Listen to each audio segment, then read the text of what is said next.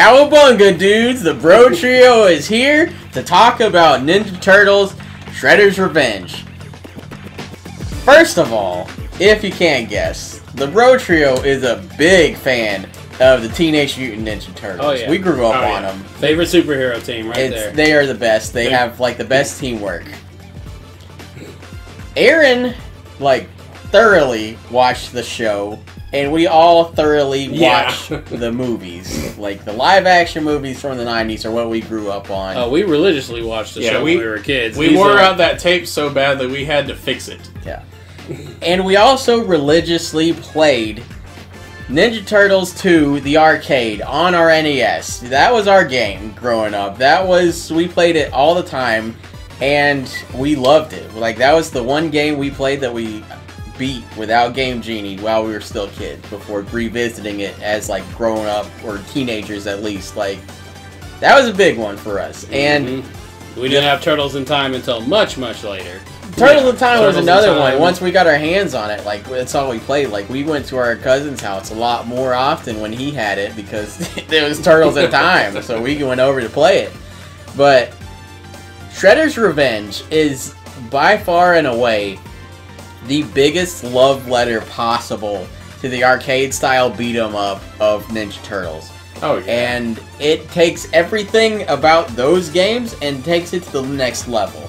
So during this powwow, we're going to talk about three main topics that we think are the biggest takeaways from Shredder's Revenge. We're going to talk about the gameplay, we're going to talk about the graphics, and we're going to talk about the soundtrack. All three, great. Oh yeah, amazing. So let's get started. Scotty, why don't you tell us about the gameplay? So the gameplay was, as you would expect from a classic beat 'em up, pretty simplistic, but also it was it was incredible.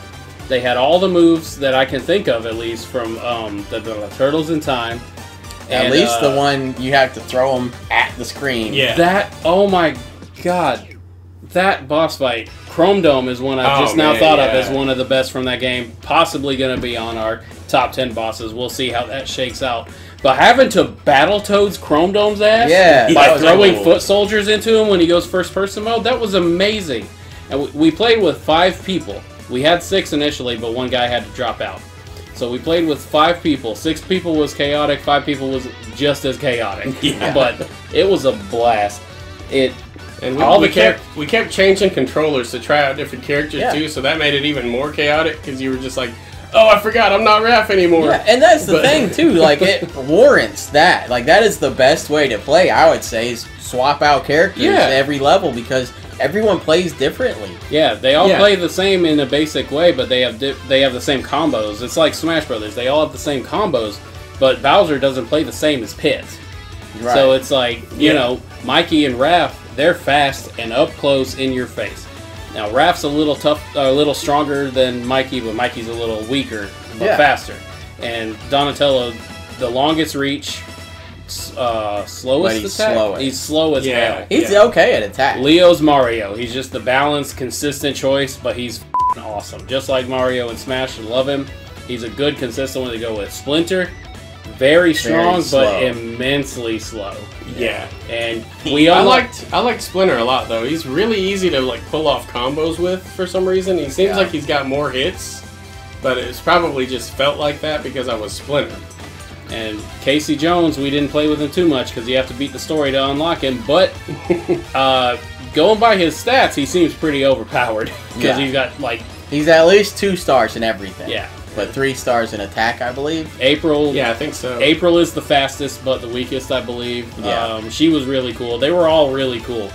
Um, but I have a strong Donatello bias, so he ended up being my favorite. And uh, I like that fighting style anyway. A little slower, keep him at a distance. It was fun. That was- Raphael, second best. He was great. That's what I really liked about how we played with our party group and swapping out like every character, every level, and everything.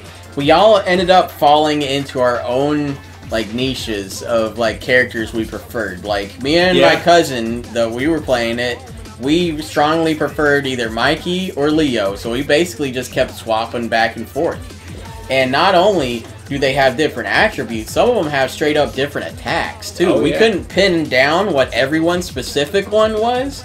But like, there's a what's called a rising attack where I think it's Y and B at the same yeah, time, something like that. and you like Yeah. attack while like jumping upward. And a lot of people just do like a rising slash to like jump up, and then you can do air combos on them. But Mikey will turn into like a corkscrew yeah, and his rising slash has a lot more hits and that's his specific attribute but leonardo has this one thing where everybody else when you double jump and attack they just in the slam yeah. down that's it but leonardo turns into a f***ing buzzsaw with his two swords and he hits a lot more it's all based on hits and combos and that's pretty much everyone's specifics except Raph's is based on power because his was one of the only ones we could like figure out that was different was um, he like will suplex enemies Oh, yeah. when he throws Yeah. them.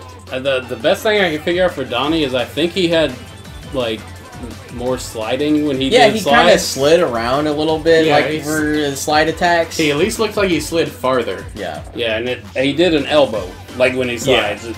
I think he did that move in Turtles Tournament Fighters. Yeah. Don't know if it's a reference or not, but probably. I'm assuming most Yeah. things in that game are references. yeah, Speaking of, that's the next topic. Is not only to past Turtles games, but there are references galore. Like April O'Neil straight up has like Chun Li's moveset from Street Yeah. Fighter because they took every great like I don't know what it was about them. They were just like, this is what's happening.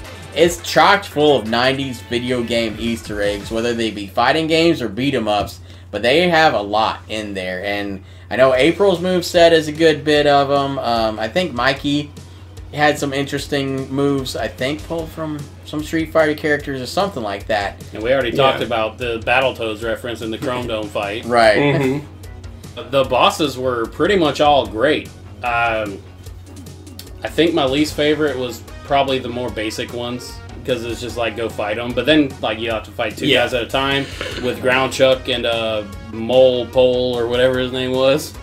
What was the mole's name? I name? forgot his name, but Diggersby.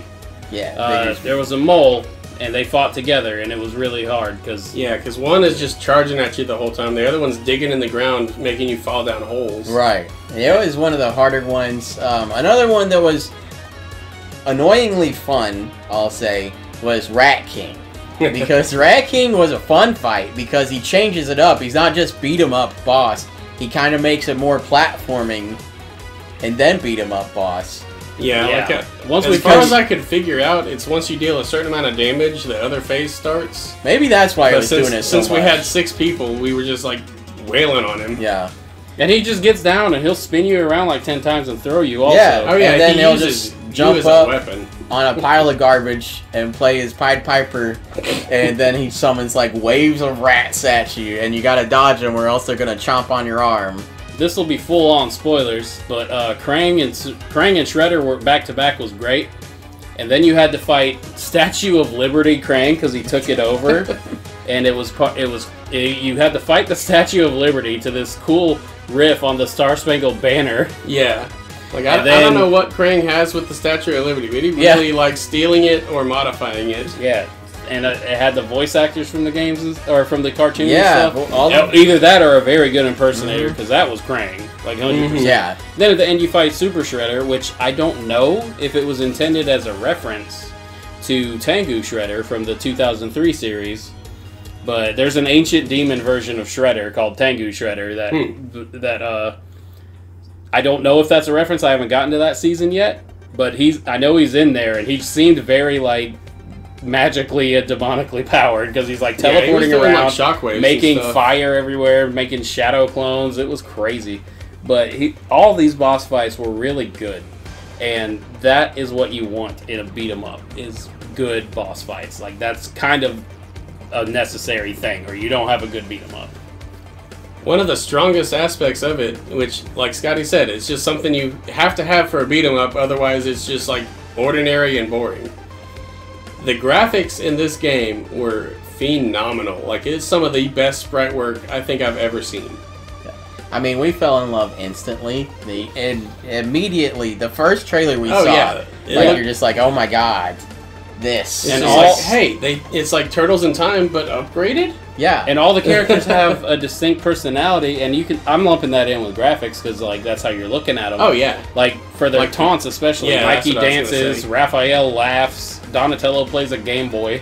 Not Yeah. to mention their own like uh, end level little poses Yeah, too. Donnie gets a pogo stick out. And so, Yeah, Yeah. Donnie gets pogo stick, Raph gets pizza on his size. yeah, and there's like a lot of little like little touches. Like uh, there's a pretty much a straight up uh, high five button Yeah, that yeah, you can is. do with people, and like there's It doesn't serve any point. there's double attacks that you trigger every now and then too. That they just look everything about this game. Looks yeah, you can cool. shell shock people. We never figured out exactly how to trigger it. Yeah, you it can do like the fastball special basically, and like there's a lot of cool combo attacks that, more or less, from what we gathered, you basically have to be in the right spot at the right time, attacking simultaneously with the your other person. Yeah, if we had Oh, fewer yeah. people, we might have maybe could have tried it a little Yeah. more and figured it out. But oh And oh my god!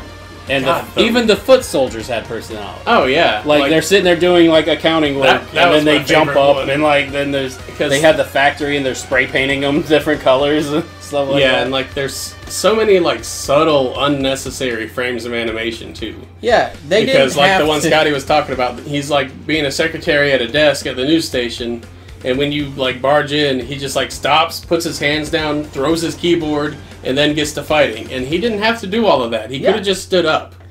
They didn't And have then, to like, animate a foot soldier on Coney Island Yeah, with that's- the little that's what I was about to say. come come on, come on, like telling everybody to do some the carny Yeah. Carnival games, And then oh you, you get close enough, he pulls his hat off, throws, Throws it across it. the screen, and he's just like, "Let's go."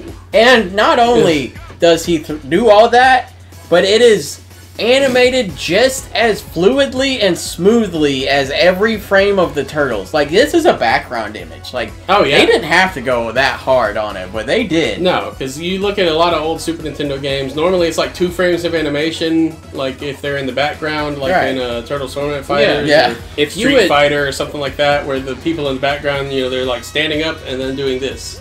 If they had So never, when they play it back to back, they're cheering or whatever. But if they didn't do that, we would not have noticed. No. Like Yeah. we wouldn't have been like they should have given the foot soldiers more more personality. Like no, they're robots. yeah, because it's then based on the cartoon, so they are robots. along those same lines, there's something that we didn't notice until about halfway through. Certain things are contextual too, because if you like knock a foot soldier down, he has one death animation. If you hit him into an object, he has a different one. If he if he dies against a wall, he has a different animation. And there's it. You didn't have to do all of that, and we love you for it. yeah, but- it's some, and it's like the best pixel art I've ever seen in my life. Oh yeah, like, Like- one oh standout God. example is uh, Leatherhead. When you're fighting him, like he could have just he could he, I he feel does, like I'm in a gumbo. Yeah, when like you he- kill him, he does like whack a mole basically, because he's popping up and up out of the uh, manholes on the stage. Just he like coulda Just, he could have just jumped up and down in those, but they gave him a specific like crawling down animation, Yeah. and, And, it, it was flies it was off great. when you kill him. It's great. Yeah, so so many little touches and and little gorgeous. touches of nostalgia for anybody that watched the old cartoon too, because like Vernon's in this, Irma's in this. Aaron was Like, calling all uh, this bullshit that we were just like, what the hell is this? And he's like, oh, that's the punk Yeah. frogs. Yeah, like the obviously. punk I, frogs, I recognize like- basically everything Yeah, except those, there's those except pizza xenomorphs. like- yeah, pizza more. He even called some whack ass shit of some weird Dimension X people that he Oh, was just yeah. like, yeah, they're basically just like 50s teenagers. Yeah, the, they uh, were just what like what the hell? Like Damn, I forgot their name now. I, I- knew it when I saw them, but The then Ermites or whatever, but they're just Oh yeah, hey, neu- come on, the boys, neutrinos. neutrinos, neutrinos. That's That's not close yeah, at all. and then like when we got to Dimension X, spoilers by the way, but uh, he popped down and I was like, ooh, General Trag. Yeah. Yeah, they got Immediately. Tri- they got Triceratons in this bitch. It's everything. and they Yeah. showed like oh, Uh, sorry. The Triceratons when they die, instead of exploding, they just get beamed up back to like a spaceship. yeah, oh yeah, and like the the rock monsters, they they like they like they melt like away, crumble and melt, and it's they're just kind of like, oh no, like you see their hand at the last second, Like- and Of course, it's not the best graphics I've ever seen or anything, but it's like the amount of detail packed into every level is some of the most ridiculous I've ever seen.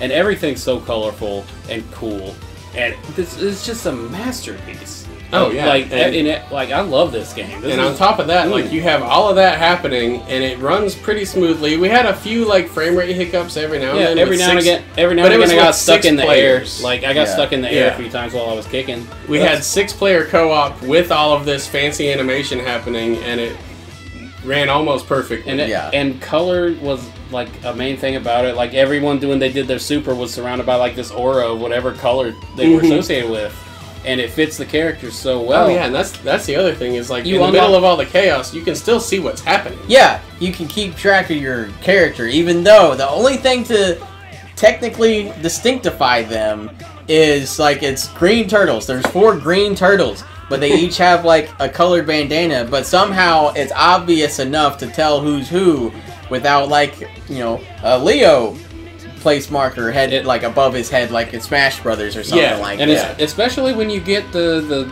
big thing at the end with the three super meter bars. yeah. That's another Mhm. thing that was cool. That's more gameplay is that you unlock stuff as you go, but you unlock like super mode basically and like a an aura of their color. Like Donatello's aura was Yeah, purple, following yeah, him around was- like little aura after images. It was so that cool. looked so cool.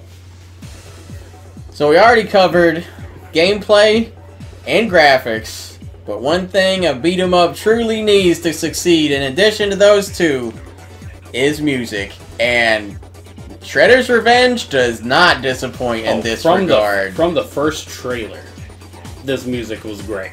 Shredder's Revenge Oh has God. some of the best music I've heard in years, especially video game wise. Because this this soundtrack, when I was going through it, you know, you have your soundtracks that you're just like, okay, this is great for atmospheric music, but I don't really want to like jam out to this. Shredder's Revenge has the jiggity jammiest soundtrack I've heard in quite a long time because when I was going through it, it was on shuffle, but it was almost I thought it was going to be the perfect soundtrack at first. Like I've only had one soundtrack to me that was perfect that I didn't want to delete any tracks from, and that was Tron Legacy. And Shredder's Revenge was almost that. It ended up being pretty stacked towards the beginning with some of the cool ones, and then the other ones weren't like as good. Like they're great, but it's just not something I really want to listen to. But it ends up being about 90% of the tracks on the actual soundtrack are worthwhile to jam out to just to listen to. It's fantastic. My only complaint is that every song is only about like three minutes long, like max. Like that's it.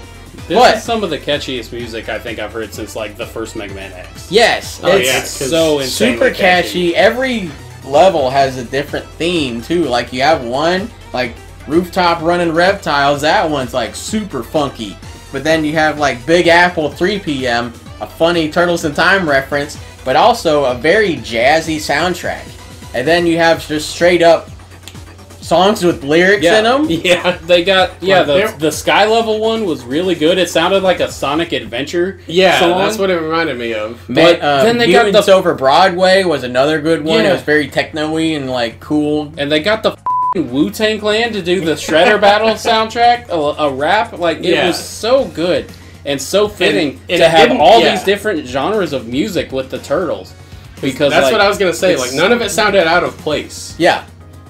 Because all the turtles, like, themselves signify, like, different genres of musical taste and everything. And it kind of was, like, playing to that. Like, you know, if, I mean, there was Oh yeah, certain the cheesy levels. rock was definitely Leo's. Right. And then, Yeah, like, The, all the synth was Don. right. And, Mhm. like, all the, like, jazz and stuff was probably Mikey because he moves fast. The all rap, the funk was Raph. And, Yeah, the rap mm, probably either Mike or Raph. I don't know where to place Yeah, I the don't rap. know which one was Splinter. which. Yeah, Splinter loves rap. That's you know but the best, Ninja like, Rap. They didn't get Vanilla Ice. Yeah, That's no, no. Vanilla Ice, sadly. But if I can give you anything, it's gonna be listen to these five tracks because Big Apple 3 p.m. is a big one. Uh, Mutants Over Broadway, King of the Spill, I will say, is probably one of the best tracks of the game because it was heavily featured in all the trailers. Um, Panic in the Sky That's is the the, Sonic rock. Adventure Yeah. style song, and then We ain't came to lose. That's we the, Ain't Came to Lose was the Wu Tang song, and A few screws loose is another one. It just like gets you amped up, and it's just like we're about to go f- up Krang right now. Like we're storming the Technodrome. Let's get it. I'm Oh, on the man. interstate. Them and putting- I'm speeding unintentionally because of this music.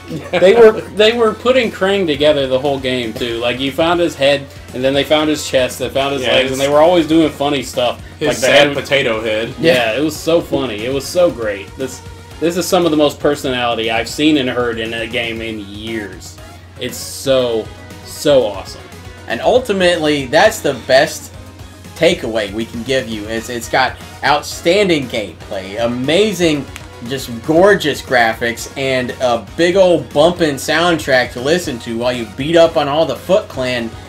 Shredder's Revenge is probably one of our favorite games of the year so Oh, far. absolutely. Like it's Yeah. one of the best ones I've it's played. going to be on our top 10 games of 2022. Oh, if, like, if it's not, I will it. be very surprised. But that's what we're gonna leave you with. If you haven't, go play Shredder's Revenge. It is highly Yeah. worth it. It's what? How much is it? It's like twenty five bucks. It's it's only like two and a half hours long, but that's that's about what you want with a beat 'em up, honestly. That is like maybe if you go for everything and all the challenges, it's going to be significantly longer. yeah. It's about a fourth of what you'll pay and double the time of taking all your friends bowling. So it's definitely worth it to like get a group together, pay 25 bucks. You have a really really fun and memorable night that you'll be talking about for at least a month. Like get Shredder's Revenge, play it. It's got story mode, it's got arcade mode. You unlock Casey Jones, you can replay it forever.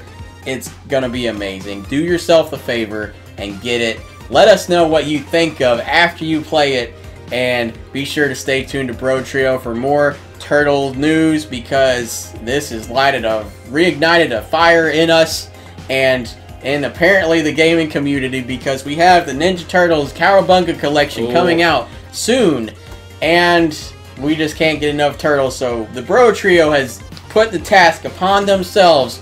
Once the Cowabunga collection comes out, we're ranking all the games in the Cowabunga collection and Shredder's Revenge. So stay tuned to Bro Trio for that.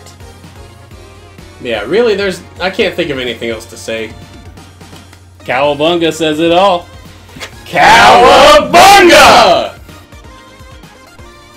So have you ever caught yourself wondering how does the Bro Trio make all those sweet thumbnails for the powwows? Well, I draw them. And if you would like to see me draw them, be sure to go support us on Patreon. This is our newest Patreon reward to give our Patreons just a little more something to get to know the Bro Trio with.